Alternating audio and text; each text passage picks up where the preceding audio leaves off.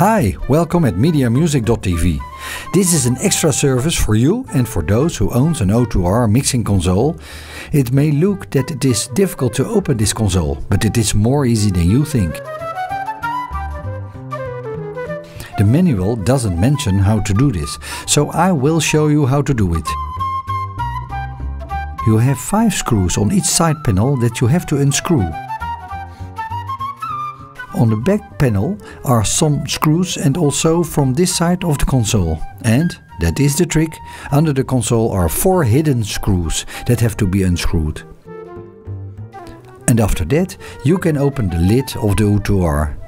Don't push it too far backwards, otherwise you will ruin the so-called Molex connectors. The Molex connectors are attached to the grey wiring as you can see.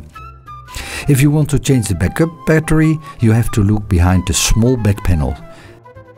So, this was a short tutorial how to open your 02R. If you have problems to start up the console, first try to move the Molex connectors a little bit.